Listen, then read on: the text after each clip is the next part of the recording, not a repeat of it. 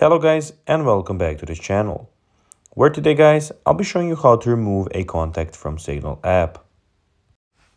Now guys, the first thing that you of course need to do is go to the Google Play Store or the App Store, whichever you have, and download the Signal application. Now guys, when you did that, you just need to go and log into your profile. But guys, if you do not have one, you can always go and register to Signal. But guys, if you do not know how to do that, you can always go to our YouTube channel where we have plenty of how to signal videos where you can see how you can do this. Now guys, that we got that out of the way, let's see what we actually have in front of us here. So as you can see here on the first tab, we have the chats where you can get started. As you can see in the top right corner, you can click and start your first chat there. Find people that you want to chat to and start chatting to.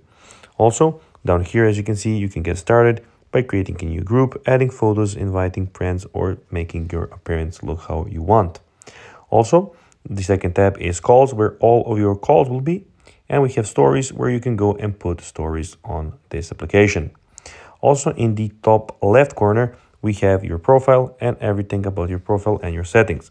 So we have your account, link devices, do uh, donate to signal appearance, chats, stories, notification, privacy settings, data usage payments, help, and you can also there go and invite your friends. Now guys, let's see how you can actually go and remove a contact from Signal app. To do so, you'll need to click on the top right corner and here you need to go and find some contacts and chats. You'll have the chats here guys and there you can go and re remove them. So guys, that will be everything for this video. I hope that you found this video informative and entertaining.